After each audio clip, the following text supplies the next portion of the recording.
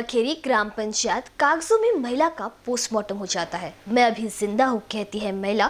एक महिला की सड़क दुर्घटना में मौत हो जाती है। इसकी बकायदा पुलिस में रिपोर्ट होती है। फिर पंचनामा किया जाता है और उसका पोस्टमार्टम भी होता है। इसके बाद उसको सरकारी तौर पर मिलने वाली राशि भी निकाल ली जाती है। लेकिन हैरानी तब होती है जब वही महिला पुलिस के पास पहुँचती है और बताती है कि वह ज़िंदा है। यह कारनामा किया है भोनाखोरी पंचायत के सचिव ने। जब महिला ने पहुंचकर पुलिस में रिपोर्ट दर्ज करवाई तो पुलिस ने आनंद फानंद में रिपोर्ट दर्ज की और जाँच शुरू कर दी। आइए देखते हैं इस पूरे मामले में हमारी रिपोर्ट। ये बोनाखोरी ग्राम पंचायत की रहने वाली किरण मालवीय है, जिसे भरोसा नहीं हो रहा कि उसकी मौत हो चुकी है और उसका पोस्टमार्टम भी हो चुका है। जैसे ही उसे पता चला, उसके परिजन हैरान हो गए। बात यही खत्म नहीं हुई। इस महिला के नाम से सरकार ने चार लाख की सहायता राशि भी परिवार को दे दी। लेकिन ये राशि परिवार को नहीं, बल्कि सचिव के खाते में डाल दी गई। जनपद पंचायत से हुए इस कारनामे के बाद हर कोई हैरान है।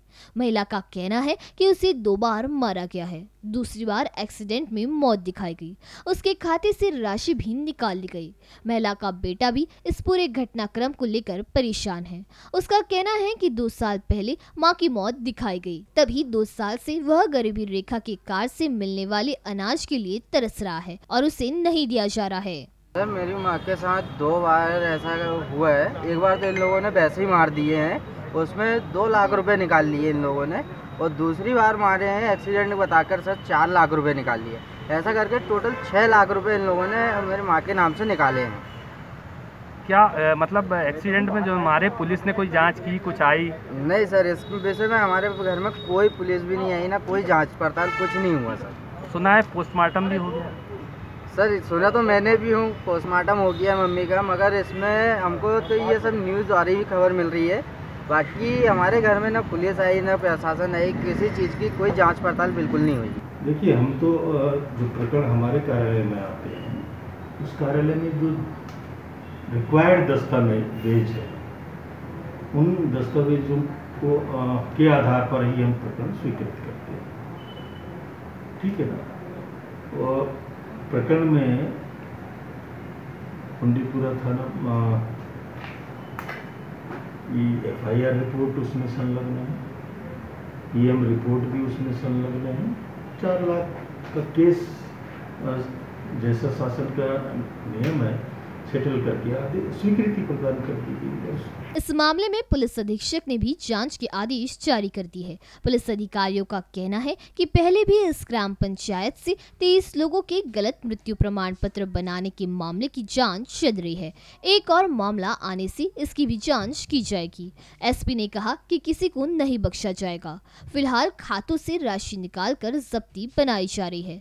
उधर जनपद पंचायत के कार्यपालन अधिकारी का जवाब भी चौंकाने वाला है। उनका कहना है कि ऐसे मामले में भौतिक सत्यपान किया जाता है। इसमें क्यों नहीं हुआ? इसका पता लगाया जा रहा है। उनका ये भी कहना है कि राशि की स्वीकृति के लिए जो कागज़ ज़रूरी होते हैं वे लगी हुई थी। इसलिए राशि स्वीकृति का प्रकरण बना दिया गया। लेकिन राशि सचिव के खाते में कैसे गई? इसका जवाब भी नहीं दे पाए। एक दो दिन पहले थाना चौरई में पुलिस ने एक 420, 467, 468, 471 और 120 बी और अन्य धाराओं में एक अपराध पंजीबद्ध किया है, जिसमें स्थानीय बोनाखेड़ी पंचायत के सचिव और उसके साथियों के द्वारा कुछ हितग्राहियों के नाम पर पैसे अपने खातों में ट्रांसफ़र करवा लेने संबंधी समाचार समाचार पत्र में प्रकाशित हुआ था। इसी संदर्भ में आज जो एक नई बात सामने आई है, उसके अनुसार एक महिला जिसका, जिसके नाम से राशि विगत अपराध में भी आहरित करने की बात सामने थी तो उसके एक्सीडेंट होने और एक्सीडेंट में मृत्यु होकर उसके घटनाक्रम में एक एफआईआर दर्ज होना और उसके पीएम रिपोर्ट इत्यादि का आधार लेकर इसके नाम से पृथक से राशि आहरित करने की बात सामने आई है।